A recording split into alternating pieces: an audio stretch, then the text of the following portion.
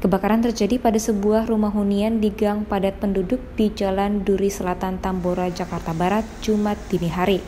Api dilaporkan mulai terlihat pada pukul 12 lewat 9 malam yang diduga disebabkan korsleting listrik pada kabel mesin jahit di salah satu rumah warga. 20 unit mobil pemadam kebakaran dikerahkan untuk menjinakkan si jago merah. Api berhasil dipadamkan setelah satu jam tim pemadam kebakaran Jakarta Barat berjibaku memadamkannya.